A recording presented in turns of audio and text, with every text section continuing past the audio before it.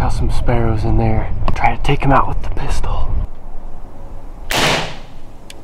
All right, so this is the pistol I bought. It's a Crosman 1377. It's just a little 177 caliber pump pellet pistol. And clearly iron sights aren't gonna be able to work for hunting, at least not that well because I missed the sparrow I shot at. It was only like 10 yards away. So I bought this. This is a Picatinny rail mount that goes on this gun. So I'm gonna put this on the pistol so I'm able to attach a scope to it and we'll see if we can get this thing shooting like a tack driver. So I got the scope on the pistol and it's like longer than the actual pistol. It's crazy. I think I got it pretty much dialed in. So I'll show you guys through the scope camera real quick of what it looks like. I'm only shooting about 10 yards away right now at some wood. So pump this up to 10 really quick and take the shot. That dot right where my crosshairs are where I shot, I'm gonna try to hit that spot. Oh yeah, that's a dead squirrel right there. This should be able to do the job on squirrels and rabbits, so let's go in the woods and go hunting with it. So it's the next day, I got the pistol with me and I'm in the woods right now. I'm gonna try to stay within 20 yards on these squirrels. So I just heard a squirrel over there somewhere. We're gonna try to get a little closer and try to take him out with the pistol. Okay, I just seen a squirrel go in that hole right up there in that tree. I'm gonna get a little bit closer, sit down on the ground, maybe right there, see if he comes back out and I'll take the shot.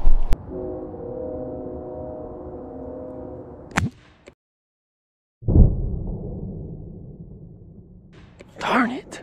Oh, I gotta reload real quick. He's still up there. It is so hard to hit things with this pistol. The trigger's so bad on this that I just pull the shot every time, it seems like. That squirrel went back in the hole. It's only about a 10 yard shot. The squirrel's sitting right up there. I'll try to get a little closer and take the shot.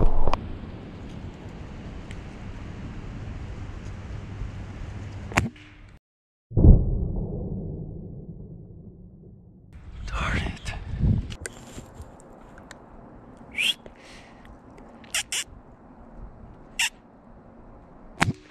What the heck? How do I keep missing? I sighted the sin right before I came to the woods and it was dead on, so I don't know how I'm missing all these shots. I'm gonna take a shot at a tree and see if it's going completely off the crosshairs. Okay, I don't even know where that went. All right, I got this thing dialed in now. If I have a good rest, I shouldn't have any excuse for a miss, except this trigger because I still pull the shots really easy. So I'm gonna take a little break from walking. I'm sitting down right now about 10 yards away from the tree over there. Where, here, I'll just show you it real quick. So there's the tree I'm watching right there. There's a hole right there. There's a hole right there. I'm not having any luck just walking around and finding squirrels. I'm just gonna sit here for like half an hour if that's how long it takes because probably have better luck if I just stay in one spot instead of walking around and spooking all the squirrels. So I'm just gonna sit right here till that one comes out and we're gonna get him this time. We have to get a squirrel with this pistol. But yeah, we're gonna get a squirrel with it today. Hopefully he comes out here in a little bit. There he is, he's coming back out. Oh, there he goes. I should have taken this shot right here, but I didn't want to risk hitting him in the lungs and the squirrel being able to get back into his hole and escaping. So I decided to pass up this shot, hoping his whole body would come out of the hole so he'd be able to fall to the ground after being hit. So he ends up going back into his hole and I'm not able to get a shot. So I wait about 20 more minutes and then he comes back out. I need him to come out a little bit more. Oh, there we go. Got him, I got him. Yes, we got the squirrel. Okay, good, I was recording on the scope cam. Finally, a squirrel with the pellet pistol. Oh my goodness, I was waiting here for at least half an hour for him to come back out. Oh my goodness, finally, and he dropped too. Go ahead and pump this thing up just to make sure. Man, I was starting to think I was never going to get a squirrel today. Cause this, that took way longer than I thought it would. Okay, let's go get this thing. Well, there he is laying right down there. I'm guessing it was a spine shot, neck shot maybe. Nice looking red squirrel. Looks like it entered right by his ear. It did exit. I'm pretty sure it exited right there. I'm surprised because this little, little 177 had enough power to go through his head.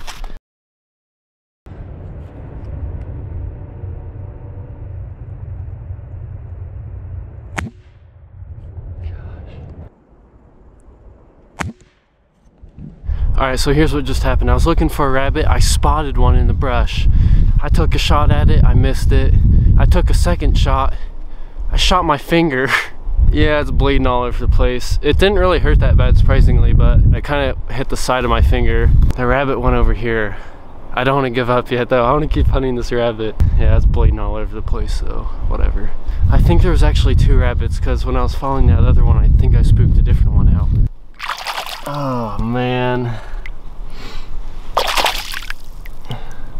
Well, that sucks. All right, I'm gonna go home and put a band-aid on this. We'll come back out and try to get some more squirrels or rabbits. Yeah, thankfully it didn't go deeper and hit the bone in my finger.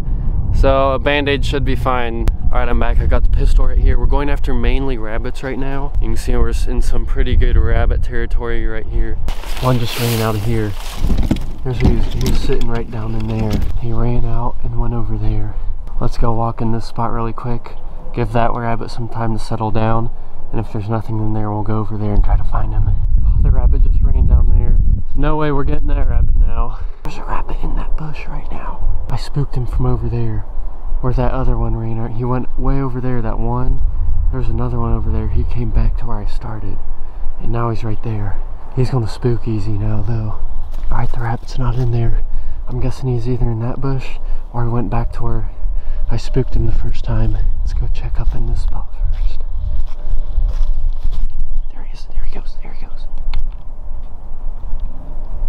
He's going back down to where I, where I first spooked him. I just saw him run into that big briar bush.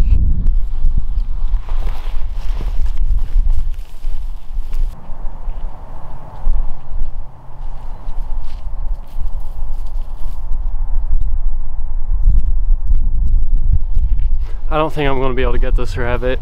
That thing almost ran right to the camera.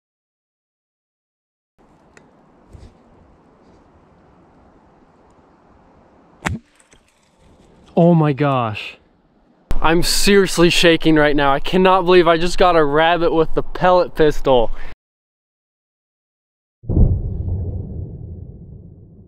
Oh my goodness, I spooked a rabbit out of here in my last video and I think this might be the same one.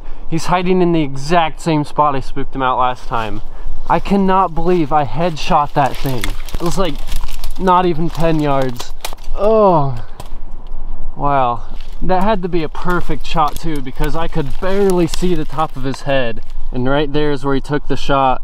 Absolutely perfect shot placement on a rabbit. The pellet did not exit, I think, which is what I expected even on that little red squirrel. That's a nice rabbit too. About the same size as the pistol. So I already got a squirrel and a rabbit with the pistol. I want to try to get a sparrow now. So there's some sparrows right up there you can see and they always land in these bushes right here. I'll try to get shots on them up there. That's a pretty far shot.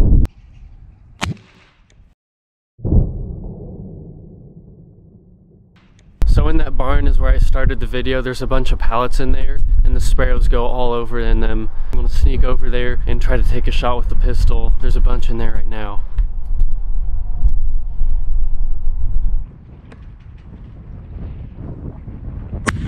Got him. I think I got him. I'm not 100% sure if that was a kill shot, but I'm pretty sure I did hit that sparrow. Oh, I see him. I see his head. Boom, a sparrow with the pellet, pellet pistol. If you know when the trigger's gonna break on that and you can hold it steady enough, this thing is a tack driver 10 yards. So that's it for this video, guys. Make sure to subscribe if you like the scope cam videos.